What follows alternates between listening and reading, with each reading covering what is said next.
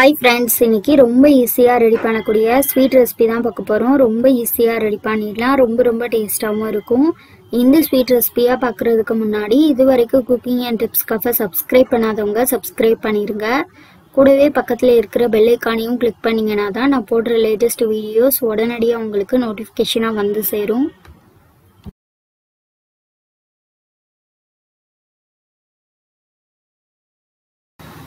நான் ஸ்வீட்டை செட் பண்ணி வைக்கிறதுக்காக ஒரு பாக்ஸில் பட்டர் ஷீட் போட்டுட்டு கொஞ்சமாக நெய் தடவி வச்சுருக்கேன். இது இருக்கட்டும்.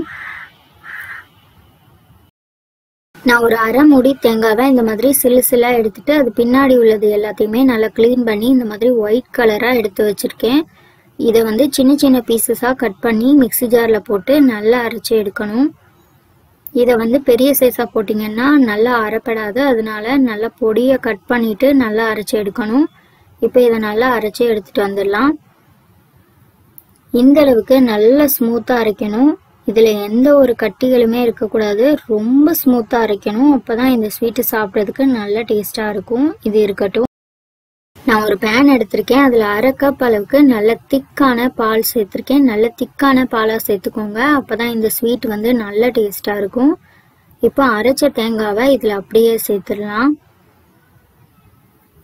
சேர்த்துட்டு இதில் இனிப்புக்காக அரை கப் அளவுக்கு சர்க்கரை சேர்த்துருக்கேன். அரை கப் சேர்த்திங்கன்னா கரெக்டாக இருக்கும். பாதி டீஸ்பூன் அளவுக்கு ஏலக்காய் தூள் சேர்த்துட்டு ரெண்டு டீஸ்பூன் அளவுக்கு நெய் சேர்த்துட்டு இதை நல்லா கலந்து விட்டுட்டே இருக்கணும். நெய் வந்து ரொம்ப சேர்க்க வேண்டாம். தேங்காயிலே ஆல்ரெடி எண்ணெய் இருக்கும். அதனால ரெண்டு டீஸ்பூன் மட்டும் சேர்த்துக்கோங்க. இப்போ இதை ஹை ஃப்ளேமில் வச்சு விடாமல் கலந்து விட்டுட்டே இருந்தால் போதும். இது பேனில் ஒட்டாமல் செப்பரேட் ஆகிற வரைக்கும் நல்லா கலந்து விட்டுட்டே இருக்கணும். இது நல்ல சர்க்கரை எல்லாம் நல்லா இலகி வரும். ஆனாலுமே விடாம கலந்து விட்டுட்டே இருக்கணும். இதுல கட்டிகள் விந்துடாம விடாம கலந்து விட்டுட்டே இருந்தாதான் ஸ்வீட் வந்து நல்லா டேஸ்டா இருக்கும். இப்போ இது ஒரு பதினஞ்சு நிமிஷம் போல விடாம கலந்து விட்டுட்டே இருக்கணும். இந்த சர்க்கரை பாகு எல்லாமே நல்லா கெட்டியாகி பேன்ல ஒட்டாம செப்பரேட் ஆகணும். விடாம கலந்து விட்டுட்டே இருக்கணும்.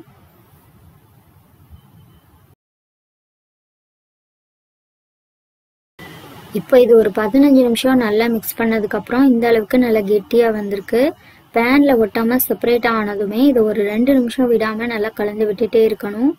இது கரெக்டான பதத்துக்கு வந்துட்டான்னு கொஞ்சமாக கையில் எடுத்து பார்த்து உருட்டுனீங்கன்னா இந்த மாதிரி உருட்டுறதுக்கு வரணும். உங்களுக்கு உருட்ட வரலைன்னா கூட ஒரு அஞ்சு நிமிஷம் வச்சு நல்லா மிக்ஸ் பண்ணிக்கோங்க. இப்போ ஸ்டவ் ஆஃப் பண்ணிவிட்டு நம்ம ரெடி பண்ணி வச்ச பாக்ஸில் இதை செட் பண்ணி வச்சிடலாம். இதை வந்து ஒரு ஸ்பூன் வச்சு மெதுவாக செட் பண்ணி வைக்கணும்.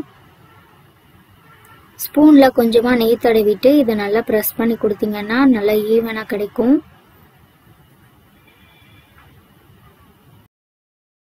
இப்போ இது ஒரு ஒரு மணி நேரம் நல்லா ஆறட்டும். ஆறுனதுக்கப்புறம் தான் கட் பண்ணணும்.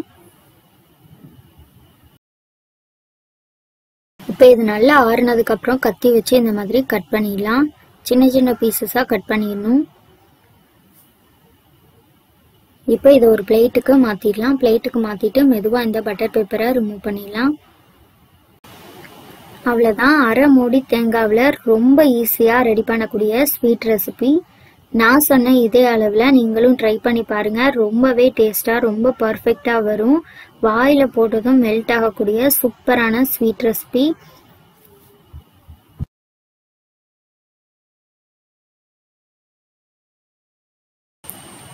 ரொம்ப ரொம்ப டேஸ்ட்டாக இருக்கும். எல்லாருக்குமே ரொம்ப ரொம்ப பிடிக்கும். நம்ம மில்க் பவுடர் எதுவுமே சேர்க்காம வீட்டில் இருக்கிற சிம்பிளான இன்க்ரீடியன்ஸ் வச்சு ரெடி பண்ணிடலாம். நான் வந்து இதை சின்ன சின்ன பீசஸாக கட் பண்ணி எடுத்துட்டு கொஞ்சமாக டியூட்டி ஃப்ரூட்டி சென்டரில் வச்சுருக்கேன். உங்களுக்கு வேணும்னா நீங்கள் பொடியாக கட் பண்ண நட்ஸு கூட நீங்கள் வைக்கலாம். இந்த ஸ்வீட் ரெசிபி உங்களுக்கு பிடிச்சிருந்ததுன்னா லைக் பண்ணுங்க. இது வரைக்கும் குக்கிங் அண்ட் டிப்ஸ்க்காக சப்ஸ்கிரைப் பண்ணாதவங்க மறக்காம சப்ஸ்கிரைப் பண்ணிருங்க.